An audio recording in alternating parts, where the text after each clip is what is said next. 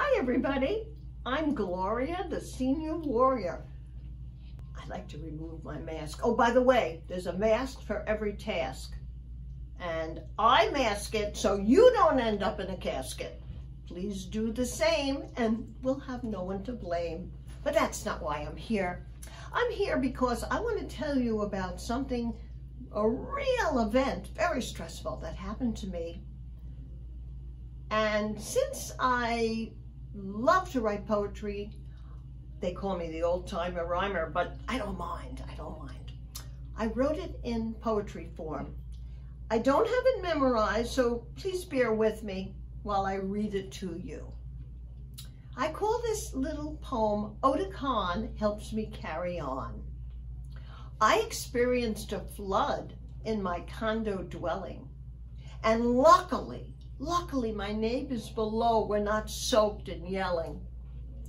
I plugged up the sink and I walked into the other room.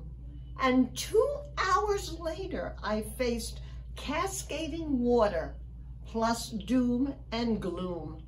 My hearing aids were carefully put away, and I can tell you it almost ruined the day. If I wore them, I would have heard the water flowing. And now it's $13,000 to kitchen contractors I'm owing. I have a wonderful Oticon hearing device. Oh, and here's my advice.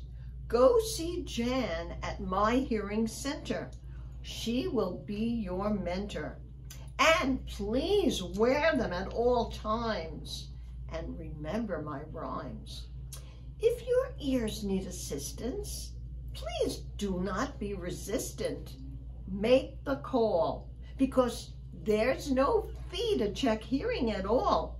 Hearing aids can improve your life and no longer will you experience hearing strife.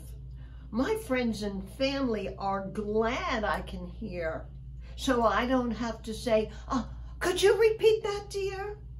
Oticon is an investment in you, and I found it's a very, very smart thing to do. And by the way, Jan Glick is the audiologist you should pick. Remember, My Hearing Center in Boynton Beach. Please call for an appointment. Bye, everyone. I'm Gloria, the Senior Warrior.